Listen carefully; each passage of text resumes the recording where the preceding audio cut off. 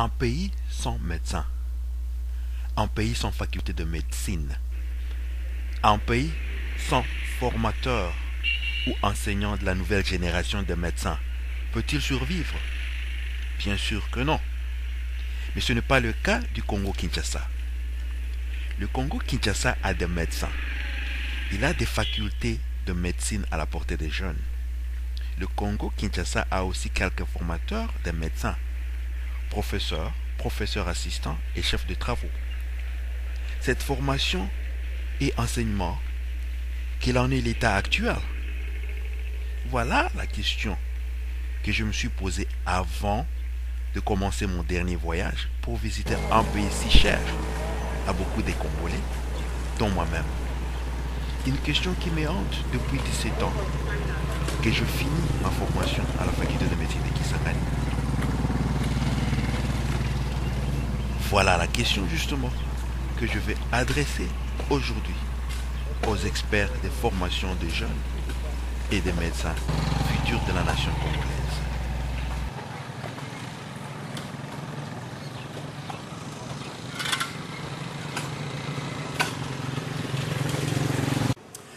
Je suis Dr Pierre Maté, directeur de IPSASI, une organisation qui s'occupe des victimes de violences sexuelles au Nord Kivu et qui va bientôt commencer un programme de formation des formateurs. Mais maintenant, nous sommes dans un programme de réalisation d'un documentaire et nous allons consulter les experts des formations des médecins ici en République démocratique du Congo. Et à ce jour, je suis à la faculté de médecine de Kisangani, dans le cadre de l'université de Kisangani. Et je vais rencontrer deux experts, formateurs, professeurs et qui enseignent dans cette faculté. Et la première personne, c'est l'autorité même de cette faculté, le professeur doyen, à qui je vais donner la parole pour qu'il puisse se présenter lui-même. Monsieur le professeur. Je suis le professeur Kayembe, je suis doyen à la faculté de médecine de l'université de Kisangani depuis bientôt euh, plus de 10 ans, disons 11 ans exactement. Et euh, je m'occupe de la formation euh, des étudiants, de l'enseignement et bien sûr je m'occupe aussi de la recherche. Nous avons aussi un deuxième interlocuteur, le secrétaire académique de cette faculté de médecine, à qui je vais aussi donner la parole pour qu'il puisse introduire à vous-même aujourd'hui Je suis euh, le docteur Essisseux, euh, assistant à la faculté de médecine euh, au département de chirurgie et secrétaire académique facultaire de la faculté de médecine. Et donc j'ai la charge d'appuyer le bureau facultaire aux côtés des autorités pour faire marcher les activités académiques au sein de la faculté. Monsieur le professeur, c'est vraiment un plaisir pour moi d'avoir cette opportunité pour euh, pouvoir vous adresser ces questions pour euh, que nous puissions ensemble apprécier l'état de l'éducation des médecins ici au Congo. La première question d'abord, à quand a été créée votre école? C'est pour moi aussi un plaisir de vous recevoir et de pouvoir euh, vous donner quelques renseignements sur notre institution. En fait, l'université de Kisangani et la faculté de médecine en particulier a été créée en 1963. C'est seulement vers 1985 que la faculté a été effective, c'est-à-dire que nous avons commencé à former nos premiers médecins. Voilà, l'histoire. Merci beaucoup, professeur. Et euh, concernant le futur de cette formation, Avez-vous un mot à dire là-dessus? Il n'y a que les, les non-ambitieux, n'est-ce pas, qui jettent l'éponge. Nous sommes euh, très ambitieux et quand on regarde, n'est-ce pas, euh, euh, la demande dans notre pays, quand on regarde les problèmes qui se posent dans notre pays en matière de santé, il y a lieu de dire que notre futur est prometteur. Ça, c'est de un. Euh, de deux, euh, les enseignants actuellement dans nos universités en général et à la faculté de médecine, disons même dans toutes les facultés de médecine, commence, n'est-ce pas, à se faire un peu vieux. Il y a lieu donc de chercher une nouvelle génération pour assurer le futur, que ce soit dans l'enseignement, que ce soit dans la formation de chercheurs et que ce soit même, n'est-ce pas, dans le travail même d'enseignants. en fait, ça c'est vraiment impressionnant. Euh, je crois aussi que le futur est prometteur et que bien sûr il y a des difficultés en cours de route.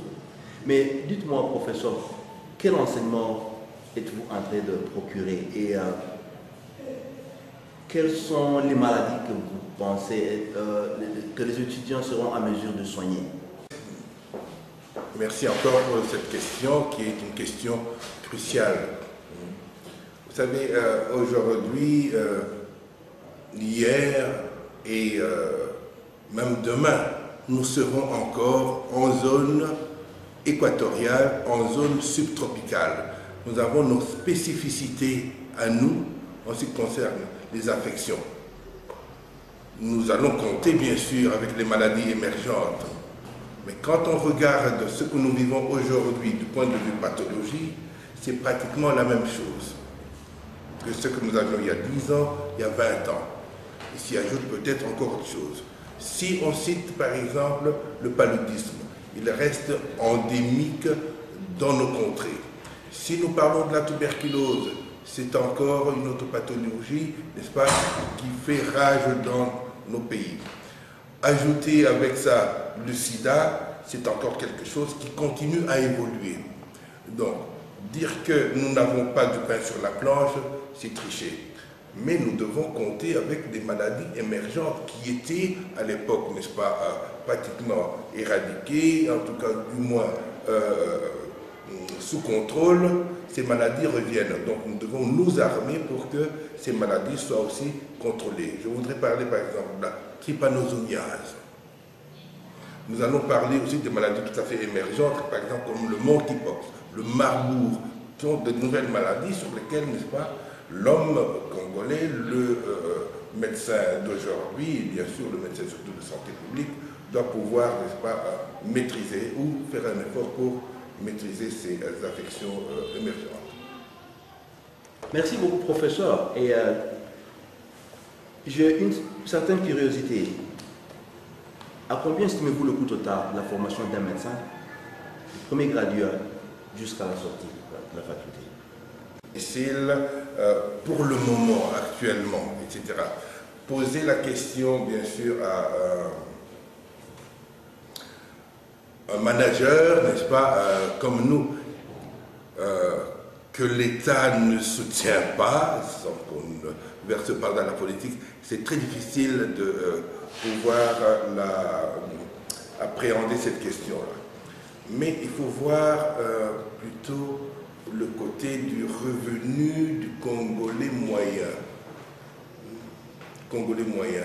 Ce qu'il dépense, si on doit dire la vérité, ce qu'il dépense pour la formation de son enfant, de son élève, etc., c'est peu par rapport à ce qu'il devrait dépenser. Le coût visible semble moindre par rapport au coût réel. Je m'en vais à relever quelques petites euh, euh, difficultés pour pouvoir apprécier. Un étudiant arrive à 16 ans ou à 17 ans ou à 18 ans à l'université. Il quitte l'université à 28 ans parce que les années ont été très longues. Cet étudiant a dormi dans des conditions euh, euh, inacceptables. Inacceptables. Comment apprécier le coût de cela? Cet étudiant n'a pas pu acheter un seul livre tout au long de ses 12 ans d'université parce que les années étaient longues. Comment apprécier les difficultés d'achat, les difficultés d'alimentation? Nous sommes ici chez nous. C'était ailleurs, en Europe, aux États-Unis, ça se calcule très facilement. Cet étudiant n'a jamais mangé à sa faim pendant ces 12 ans. Comment apprécier, n'est-ce pas, ce manque d'alimentation? C'est très difficile. Donc ce qu'il va dépenser, ce n'est pas ça le coût. Le coût est de loin plus important que ce qu'on peut dire. Hein, c'est ça la vérité. Voilà. Merci beaucoup. Alors, euh, justement, dans cet angle-là, comment êtes-vous parvenu à réaliser les enseignements? Nous savons tous que globalement, la formation universitaire est très très coûteuse. Comment êtes-vous en mesure de confronter toutes ces difficultés et d'offrir l'enseignement de qualité aux jeunes, aux jeunes futurs médecins? Euh, Nous disons toujours que, l'union fait la force. Nous avons, nous tous, euh, additionné nos efforts, nos bonnes volontés, et là où il y a des insuffisances, nous cherchons bien sûr l'appui de nos collègues. Nous travaillons en union avec toutes les autres universités de la République. Voilà. Là où nous manquons une compétence, nous cherchons la compétence dans une autre institution d'enseignement supérieur de la République. Ainsi, Kisangani peut aller compléter Bukavu ou Goma, Kinshasa peut venir nous compléter, ainsi de suite. En ce qui concerne du, euh, le matériel didactique, par exemple, notamment, carrément de, de la bibliothèque, chacun de nous, chacun de formateurs a sa petite bibliothèque privée et avec ça essaye, n'est-ce pas, tant bien que mal, de chercher euh, à fabriquer ou à mettre sur pied des syllabus. Ça c'est un. Nous avons aussi la chance, bien sûr, comme partout ailleurs, d'avoir la technologie de communication, bien sûr, euh, euh, de, l'Internet, etc., qui nous permettent de combler, tant ça peut, les lacunes. L'autre euh, avantage, c'est que la plupart aussi de nos formateurs, qu'ils soient jeunes ou bien anciens, voyagent. Les voyages nous ouvrent l'esprit et nous permettent bien sûr d'acquérir beaucoup de biens, euh, aussi bien euh, les livres, les revues, de nous abonner à certaines revues, ce qui permet, n'est-ce pas, d'améliorer la qualité de nos enseignements et de la formation de nos futurs médecins. Vous avez trouvé euh, des solutions pour contourner cette euh, euh, compétitivité et la dureté même de pouvoir assurer un enseignement universitaire. À cela, j'aimerais connaître quelles sont les modalités requises pour qu'un étudiant puisse être inscrit et admis à la faculté de médecine de Kisangani? À la faculté de médecine de Kisangani, il y a des critères Primo, il faut avoir terminé son baccalauréat. Alors, terminer le baccalauréat, ce n'est pas tout. Il y a des critères pour entrer à la faculté de médecine. Ceux qui ont terminé la filière scientifique peuvent entrer à la faculté de médecine avec 50% des points. Les autres doivent avoir obtenu 55% de points au minimum pour entrer à la faculté de médecine. Donc quelqu'un qui a fait une autre filière sociale, euh, euh, je ne sais pas moi, euh, littéraire,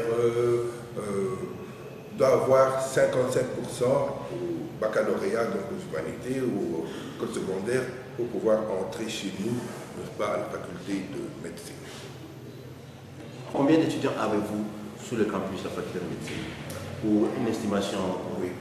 approximativement Cette année, nous avons, euh, dans les années montantes, autour de 1242 étudiants, plus près de 400 étudiants en première année, ça fait euh, autour de 1700. 1700 étudiants à la faculté de médecine. Bien, juste, euh, une question pour savoir comment vous êtes en train d'adapter l'enseignement aux circonstances sociales du moment.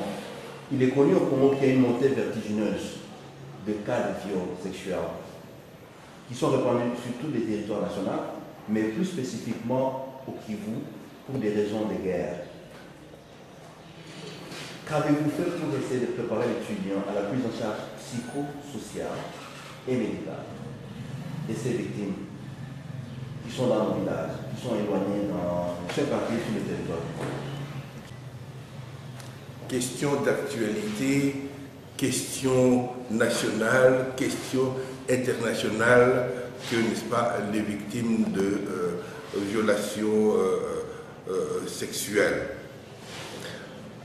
nous avons des départements chez nous de santé publique, nous avons le département de gynéco-obstétrique et nous avons des spécialistes qui font du travail là-dedans, qui travaillent sur terrain. Je ne cite pas les noms, qui sont là-dedans. Et nos étudiants et nos étudiantes sont chaque jour sensibilisés par ce problème crucial, dans la mesure où tout le monde doit s'armer d'abord moralement contre ces viols, contre ce type de violation, et pratiquement pour entrer en guerre contre ces gens-là. Entre-temps, nous restons des médecins et beaucoup d'entre nous, du moins ceux qui sont dans la filière de gynécologie, sont formés pour, n'est-ce pas, aller parer au plus c'est-à-dire aller soigner les victimes. Aussi bien physiquement pour les médecins que psychologiquement pour les autres collègues d'autres facultés, notamment les psychologues et autres, n'est-ce pas, sociologues. Parlez-nous un peu de l'état d'équipement didactique et l'équipement même des cliniques universitaires. Avez-vous une opinion là-dessus? Là, on sera très bref, très franc et très direct. Nous sommes dans la pénurie pratiquement euh, euh, complète. À part les têtes pensantes, euh, du point de vue matériel, disons que on n'a rien.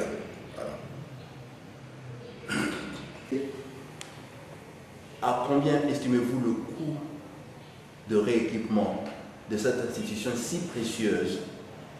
Ou quels sont les matériaux que vous pouvez nous citer maintenant?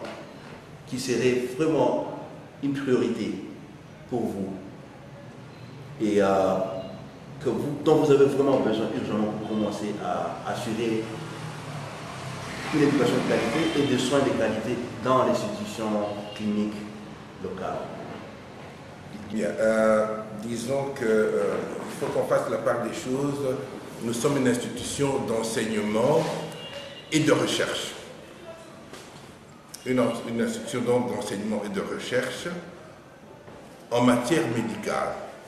Donc nous avons besoin d'appareils plus ou moins modernes et de pointe.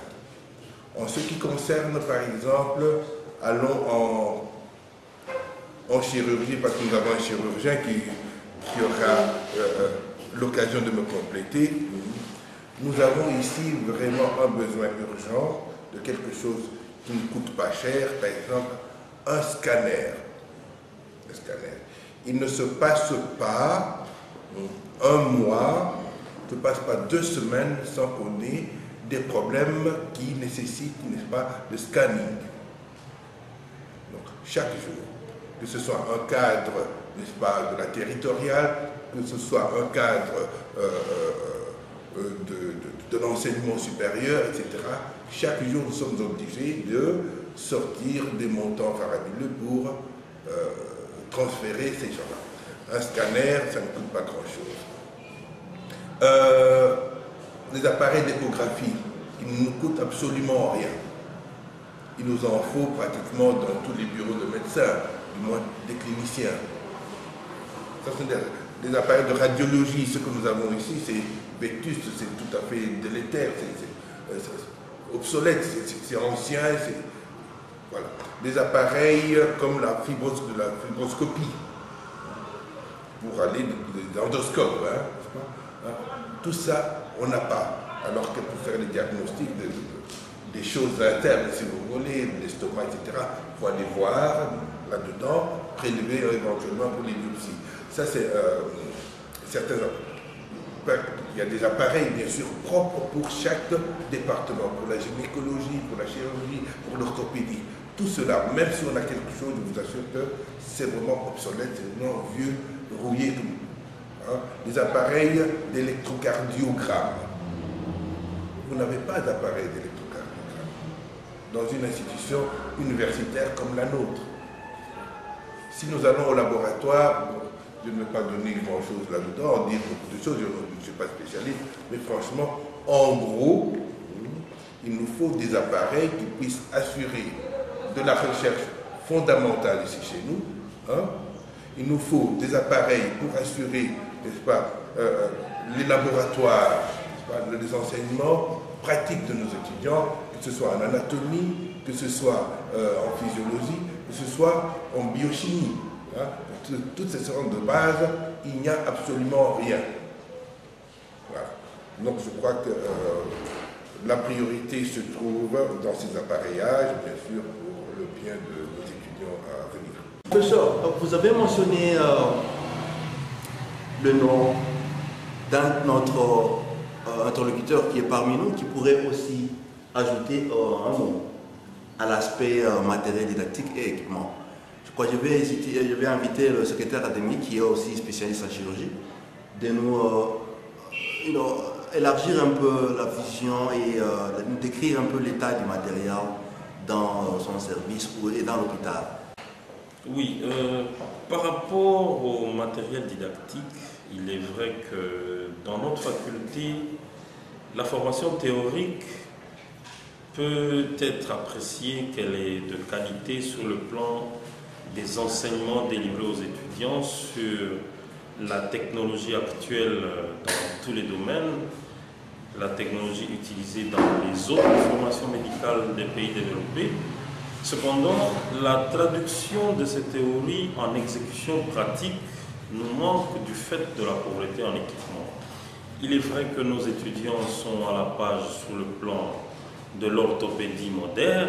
Ils savent que nous utilisons ailleurs, ils utilisent des implants orthopédiques, que ce soit internes comme externes mais euh, nous manquons des matériels euh, appropriés pour leur apprendre comment exécuter des actes opératoires en orthopédie où ils vont exécuter les implants tant installés en interne qu'en externe du fait que nous avons trop peu de matériel malgré la présence des individus de qualité qui connaissent ce travail et qui le font avec le peu de matériel que nous avons.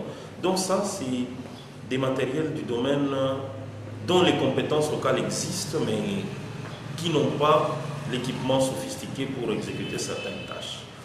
Il y a également la chirurgie du crâne, la neurochirurgie. Localement, les étudiants y sont en mesure d'apprendre toutes les lésions crânio-cérébrales en neurochirurgie. Ils apprennent la théorie de la prise en charge, mais quand nous sommes au bloc opératoire, nous avons l'impossibilité d'exécuter certaines techniques du fait de nos limites en équipement d'intervention neurochirurgicale. Et même alors, avant d'y arriver, le diagnostic qui doit s'appuyer sur une imagerie de pointe, comme l'a dit le doyen, nous manquons du scanner qui puisse nous donner des précision des lésions avant d'apprendre aux étudiants de les prendre en charge. Donc cela, c'est des limites réelles, malheureusement, dans notre situation. Et donc, euh, nous espérons qu'avec le temps et la volonté tant politique que humanitaire, nous puissions arriver à nous équiper progressivement afin de parfaire la formation de nos futurs médecins. Merci. Merci beaucoup, euh, docteur Issiso. Euh, je crois que euh, vous avez souligné des points très très importants. Je vais retourner deux ou trois questions avant de finir au doyen.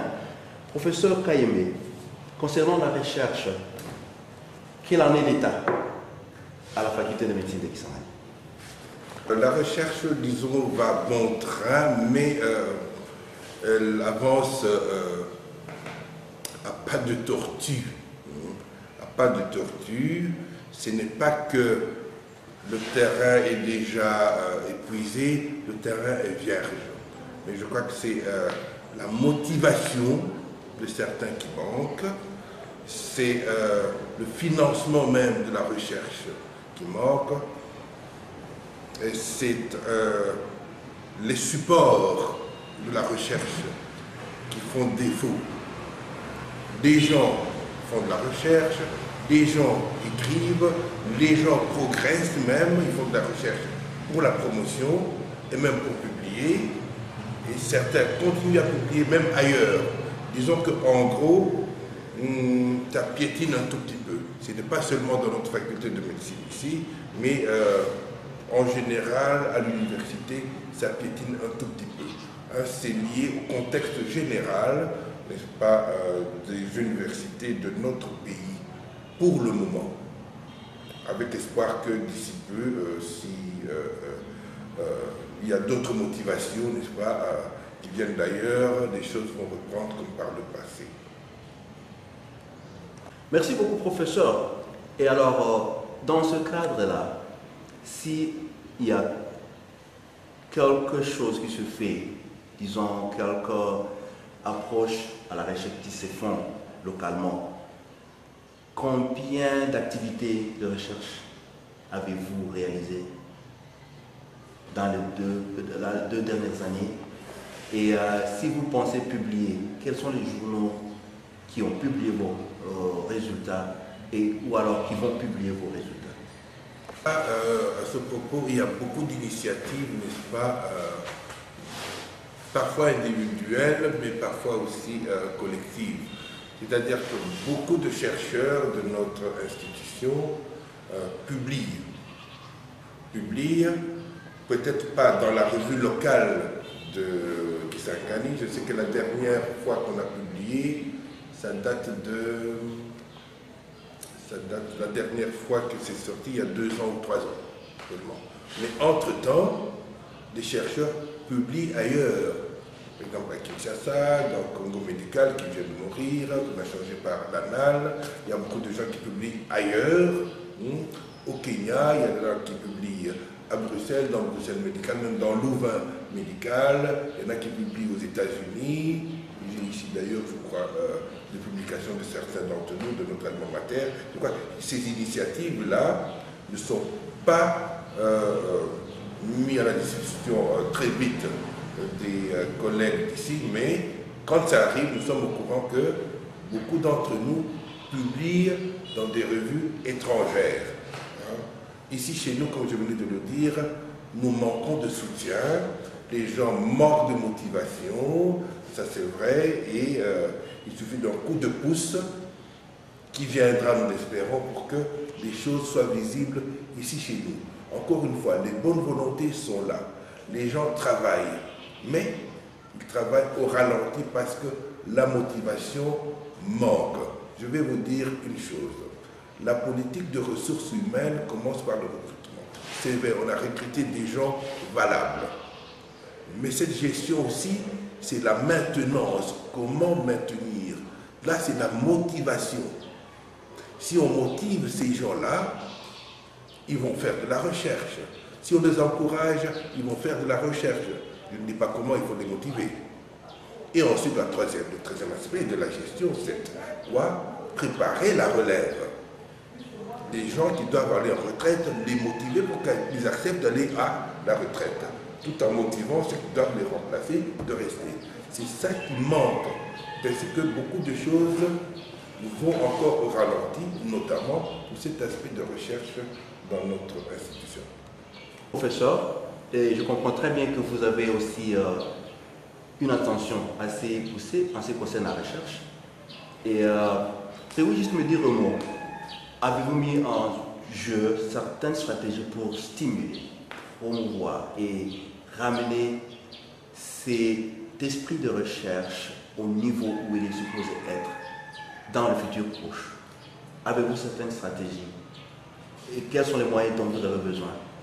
Dans, en court terme pour que l'université puisse jouer son rôle qui est pratiquement euh, recommandé dans cette société et dans cette communauté Notre souci euh, premier, encore une fois, c'est le recrutement de jeunes. Le recrutement de jeunes et les ouvrir à beaucoup, n'est-ce pas, euh, de sciences actuelles. D'abord, recrutement des jeunes, les ouvrir, leur dire, voici, il y a tel pertuis, il y a tel aspect qui est encore vide, il y a encore tel autre aspect, qu'on peut exploiter. Ça, c'est un. De deux, les encourager.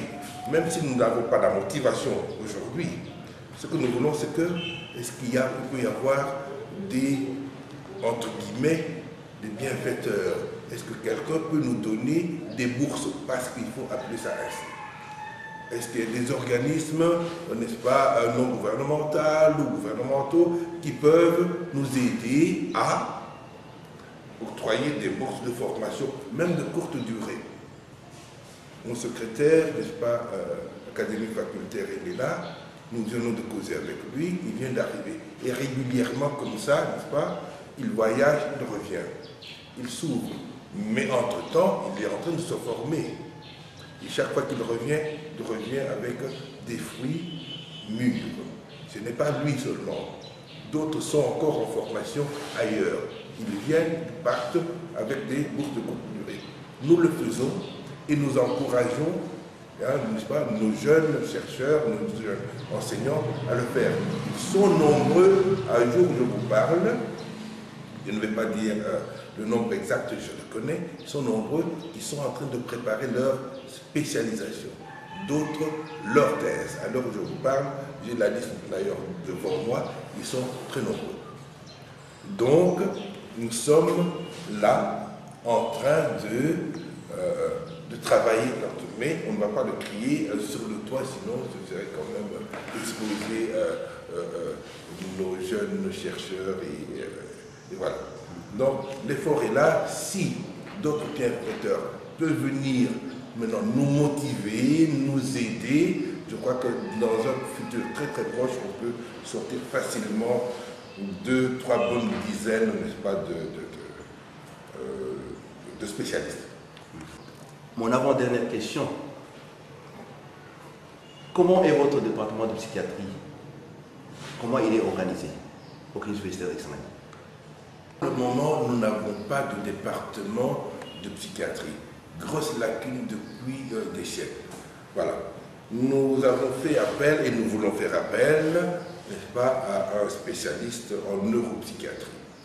Euh, pour pouvoir encourager, bien sûr, notre institution à aller de l'avant, nous venons de nommer, il n'y a pas très longtemps, proposé à la nomination, n'est-ce pas, un de nos assistants en médecine interne, et euh, Dieu merci, l'autorité, n'est-ce pas, rectorale vient de le nommer assistant en psychiatrie et je viens de prendre des contacts avec un professeur euh, de Kinshasa pour qu'il puisse être formé. Donc jusque-là, pour répondre à votre question, il n'y a pas de département de neuropsychiatrie.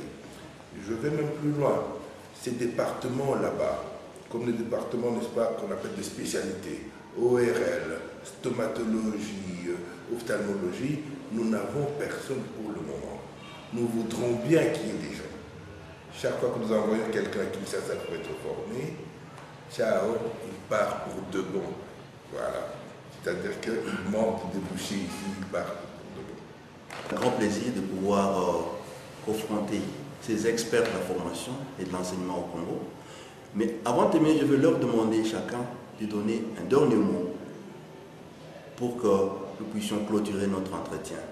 On va bien sûr commencer par le secrétaire faculté et terminer par le chef. Euh, oui, merci. C'est vrai que par ce temps qui court, il est très difficile de pouvoir estimer le besoin que ce pays a en termes de médecins, tellement ils sont énormes. Il est également difficile par ce temps qui court, de se demander d'où viendront les moyens pour former des médecins en faveur de cette population, de toute cette communauté congolaise. Mais nous avons au moins des atouts, c'est l'existence des structures de formation, dont cette faculté de médecine de l'Université de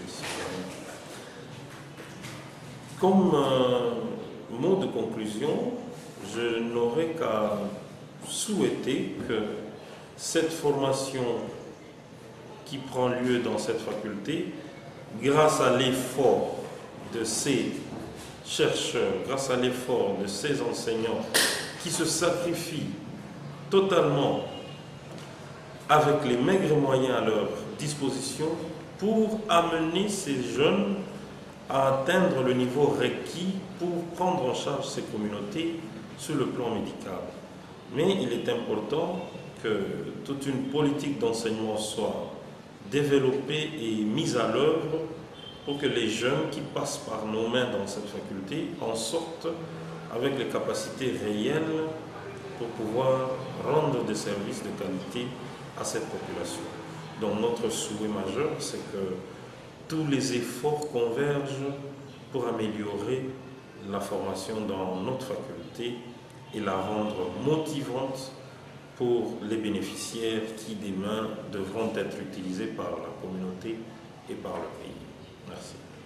En guise de conclusion, nous sommes euh, optimistes euh, avec euh, l'appui, avec le concours de tout le monde, de toutes les personnes de bonne volonté, qu'elles soient nationales, qu'elles soient... Merci beaucoup, professeur.